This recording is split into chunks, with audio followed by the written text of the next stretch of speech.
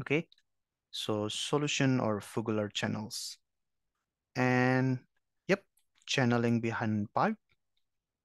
Okay, so channeling, when we are talking about channeling behind pipe, first we have water zone there. And we have bed cement. Okay, bed cement. Sorry for my writing. So the water will go through the leaks of the cement, through the micro channel, across the, the cement, and it will flow towards your perforation. It will flow towards your completion.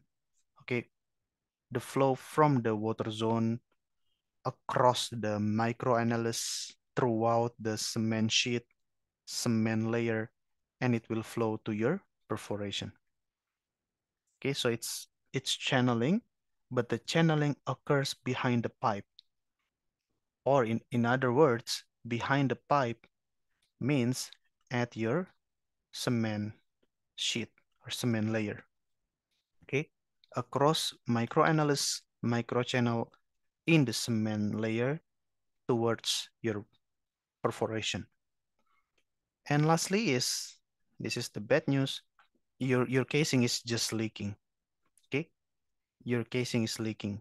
And of course, it will be very, very easy for the water to go towards your leakage, the holes on your casing. Okay, so that's it. We have how many problems? One, two, three, four, five, six, seven, eight, nine, if I'm not mistaken. One, two, three, four, five, six, seven, eight, nine. Okay, we have nine problems. And there are still many other problems actually occurring on the field, but I think we can call it a day. I hope you enjoyed this video. I hope this video is useful.